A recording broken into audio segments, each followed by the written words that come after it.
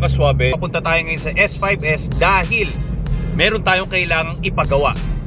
Yung Camaro natin, nagtutuklapan na ang mga foil. Well, kailangan ng curing kaya ibabalik natin and abangan mo dahil meron tayong idadagdag na vinyl sa ating Camaro. Yan ang makikita nyo. Punta tayo ngayon sa shop. Pakita ko sa inyo yung shop. Then pag kailangan nyo ng, alam nyo na, mga body parts, mga willing mag-foil. So hindi na ako magtatagal. Idiretso na natin sa S5S.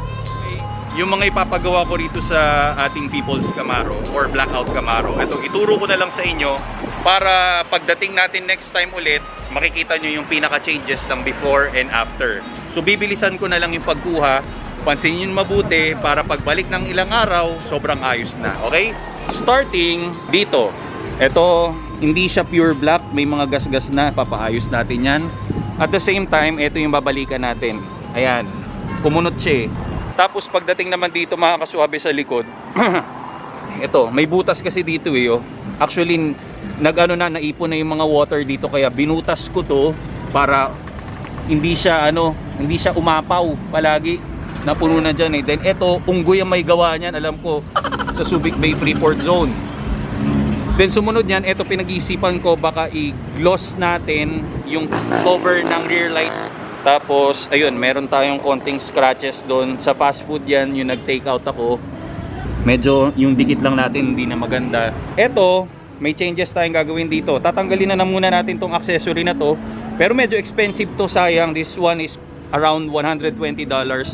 Etong buong fender na to, lalagyan natin yan ng sticker na carbon fiber.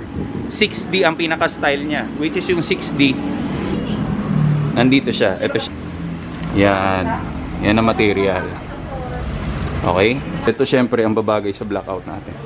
Mapunta tayo ulit.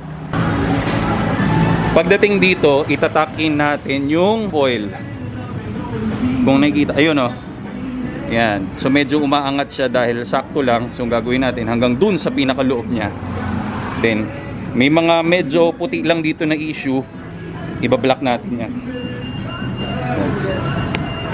madagdag rin natin mga kaswabe ang gagawin ko meron siyang sticker dito which is saying dito na exorcist two-tone siya kukopyahin natin yung ganong klase ng sticker because slick lang yung design niya yan ang project natin then even yung channel natin ilalagay natin dito sa windshield natin mga add-ons natin So dito nga pala pinagawa ni Coco Martin ang kanyang Dodge Challenger which is sayang hindi natin naabutan dahil plano ko sana i-review. Okay? Pero tingnan natin kung ano pwede natin magawa.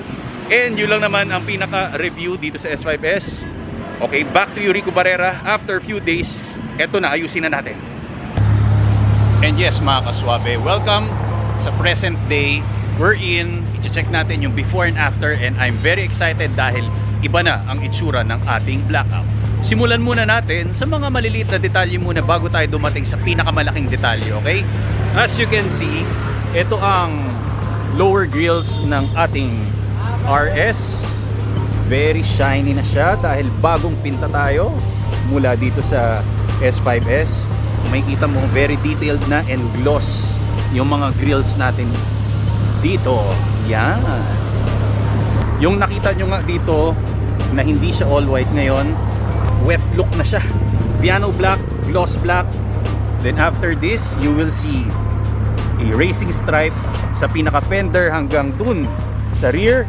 Dediretsuin natin yan. The Suave Touch.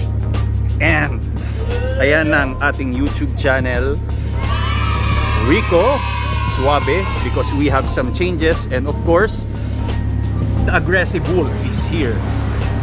Pagdating naman dito sa likod makikita mo naman. Medyo maingay lang kaswabe tinakpan muna ito kasi buo mahirap yan masyado because they are connected dito konting cure lang. Pero ang pinaka special dyan kaswabe of course this one is a Decepticon Bumblebee. Andito wala na tayong pahit na nasira to dati. Napakaganda na. Ang rims natin sobrang perfect. Ang sarap ng hawakan. Dahil lahat yan pinasadahan. 1 sa kabila 2 3 and 4 of course dito may ilalagay pa tayo dito. Blackout Camaro. Antayin nyo yan. Dahil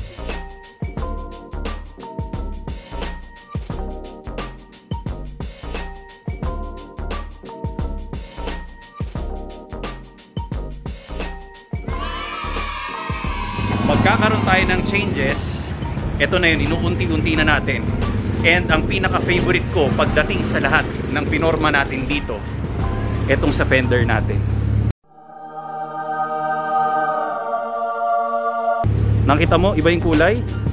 Gunmetal carbon fiber sticker. 6D ang tawag dito. Of course, you have that continuation ng racing stripes natin. This one is inspired yan sa Camaro Exorcist. That is a V8 engine supercharger. Okay, kinopya ko lang yung pinaka-sticker niya. Exorcist ang nakalagay dun sa pinaka-side. Pero ang nilagay natin, of course, yung channel natin. Well, sino ba kailangan ibida? Of course, yung channel natin. Ibalik ko kayo. Ito ang favorite ko.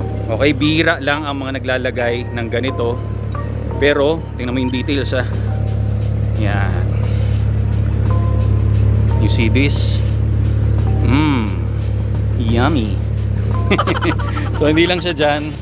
Dahil meron rin siya sa kabila. And look at this kakaiba siya. Lalapitan mo talaga siya para tanongin mo sa sarili mo, anong klaseng material to?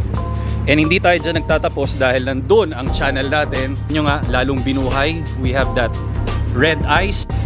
Then of course, yung channel natin, Rico Suave. Saan gawa ho yan? Dito sa Visayas app. You can visit Visayas app, Instagram account, Facebook.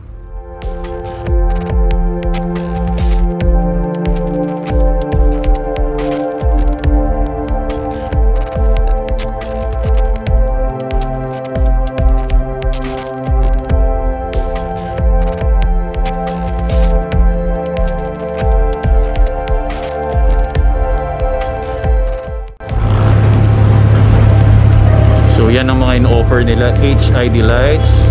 Itong pinaka-special because of this Camaro At gawa po nila yan lahat.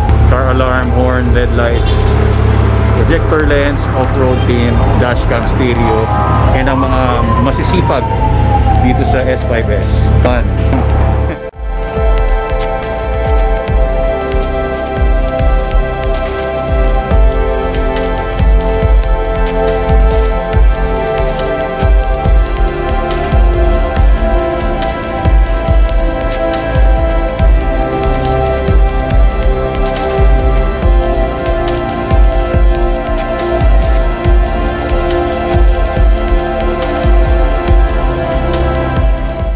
syempre yung owner ng S5S, nandito lang siya, si Spike, Peace Bump. Siya ang gumawa ng sasakyan natin even nung nagkaroon ng problema. Pali tayo ng kulay from red electroplate, lahat-lahat yan, even sa gunmetal, si Sir Spike yan. Then even yung mga tao dito, sobrang ganda ng trabaho nila. As in, mahal nila yung ginagawa nila. Kung ano yung gusto mo, mas lalo nilang gagawing better yung trabaho nila. Actually, magugulat ka talaga. Ang pinaka first time na experience ko rito, yung pinakopya ko yung sticker ng Bumblebee. I think that's part 4 pero kinat out talaga nila. Then after that, nagsunod-sunod na trabaho dito. Every time na meron akong papagawa, dito ko na siya inadala. So ganun lang siya mga kaswabe. Of course, may mga car guide dito sa channel natin. Visit lang kayo rito. And ayun, bangitin nyo lang, Blackout Camaro or Rico Suave channel para alam nila na connected tayo. Okay,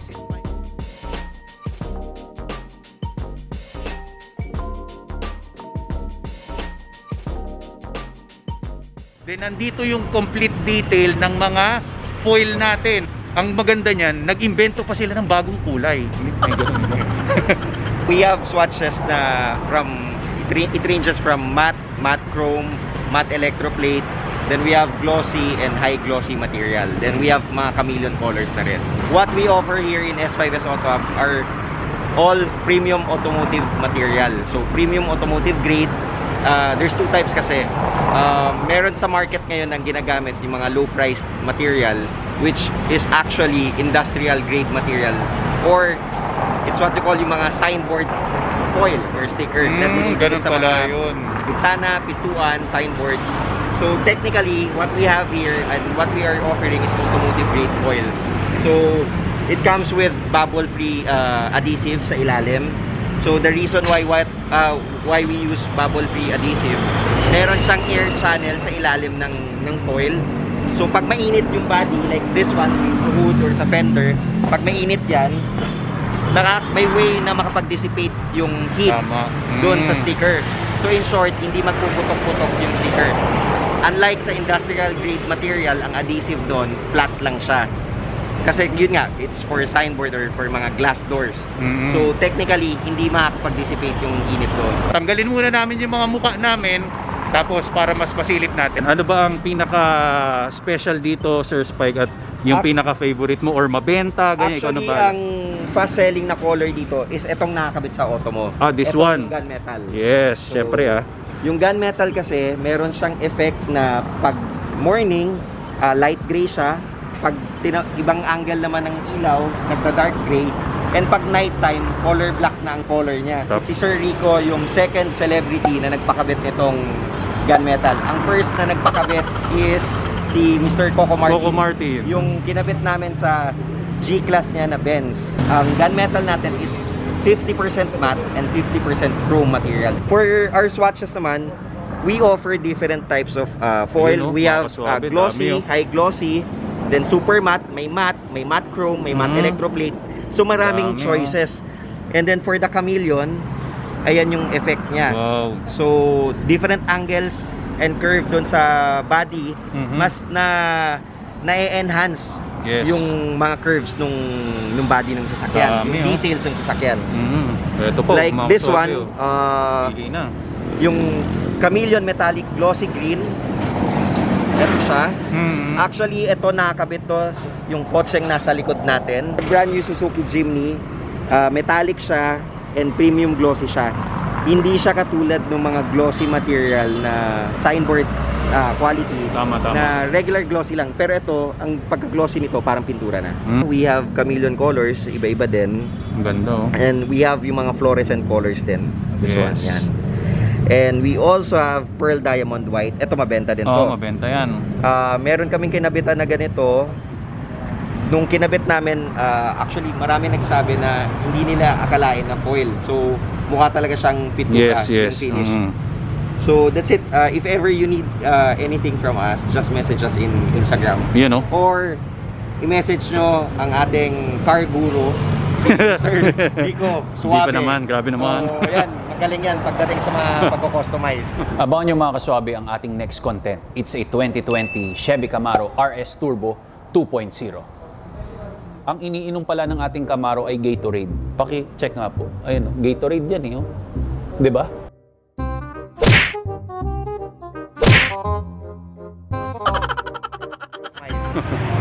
Sige lang mga kaswabe, at least inihatid namin ano yung pwede mong maging choices para sigurado na talaga, okay?